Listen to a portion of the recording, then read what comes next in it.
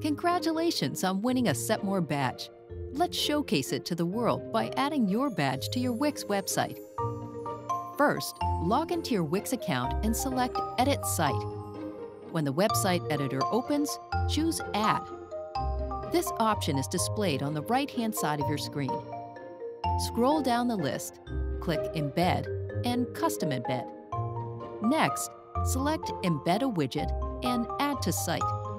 Please note that to do this, your Wix site needs to be originally created using the website editor, not Wix ADI. A widget box will appear.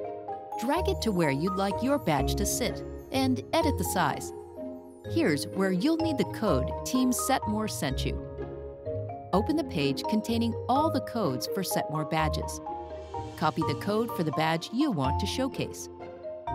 Back in the website editor, double-click the widget box and paste the code where prompted.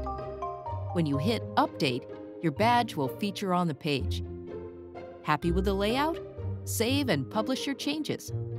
To see your badge in all its glory, select View Site. If you'd like to switch out your badge for another design, simply return to the website editor and click Edit Code. Here you can replace the current code with a new one. Save and publish your changes again to see your new badge. We hope your business continues to thrive.